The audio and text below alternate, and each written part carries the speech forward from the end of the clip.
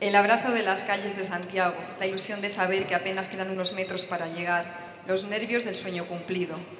A lo lejos escucha el rumor de la gaita que recibe a los cientos de pies descansados que avanzan en busca del último paso. Y es entonces cuando parece que una inyección de adrenalina hace olvidar el esfuerzo y el dolor. Aquí estoy, Santiago, lo logré.